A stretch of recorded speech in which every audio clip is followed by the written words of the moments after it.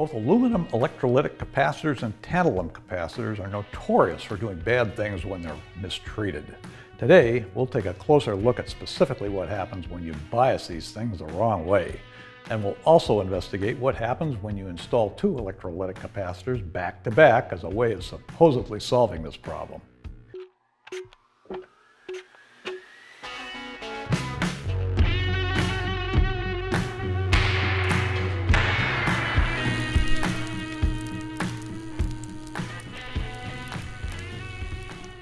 Key problem with electrolytic capacitors is that applying DC of a polarity opposing that of the capacitor can cause catastrophic failure.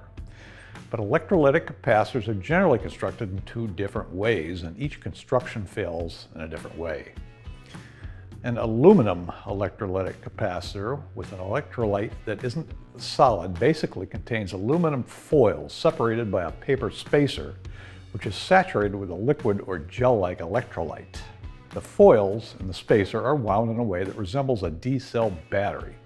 There's a very thin insulating layer of aluminum oxide formed by anodization that acts as the dielectric of the capacitor. Applying a positive voltage to the tantalum anode material in the electrolytic bath forms the oxide barrier layer that serves as the dielectric. Its thickness is proportional to the applied voltage. The second aluminum foil is called the cathode foil and serves as the electrical connection to the negative terminal of the capacitor. But not all aluminum electrolytic capacitors use gel electrolytes. Some also use a solid electrolyte, and these have a different construction.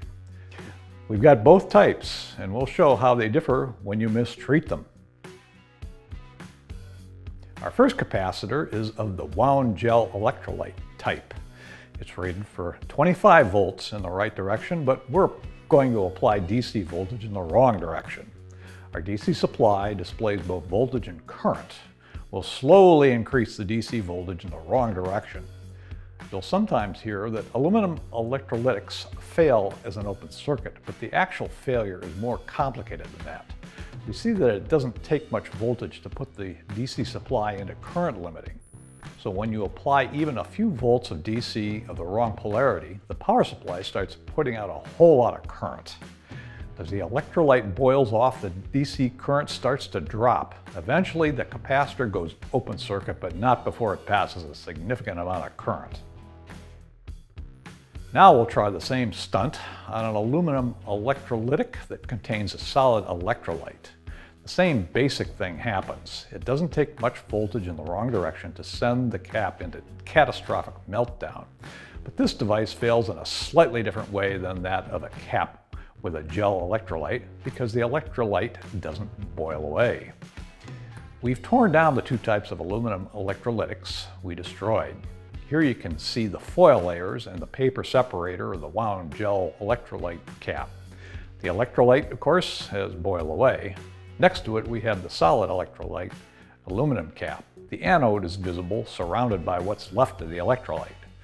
The dielectric is formed on the surface of the anode. Clearly, they have a different structure, which illustrates why they fail in somewhat different ways. Now, we turn our attention to tantalum electrolytic caps. Here, a pellet of porous tantalum metal serves as an anode covered by an insulating layer of tantalum pentoxide that forms the dielectric, surrounded by a liquid or solid electrolyte as a cathode. The tantalum pentoxide layer is very thin and has a relatively high permittivity, giving tantalum capacitors a high capacitance per volume and lower weight. The tantalum capacitors we have here are called pearls. They're dipped in resin and designed for PCB mounting. Tantalum capacitors have a reputation for failing even more catastrophically than aluminum electrolytics when reverse biased. So of course, we're going to test that theory. We'll start with zero volts reverse bias and slowly increase the voltage. Holy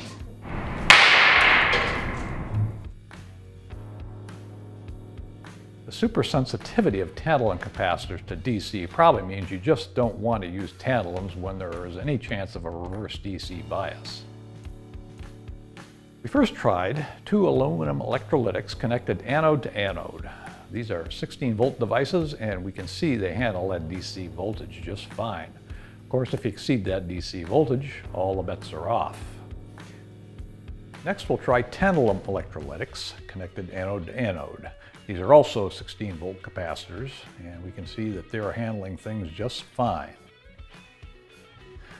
The moral of our little experiment seems to be that you just don't want to reverse bias electrolytic capacitors even by a little bit. And you particularly don't want to do so with tantalum electrolytics.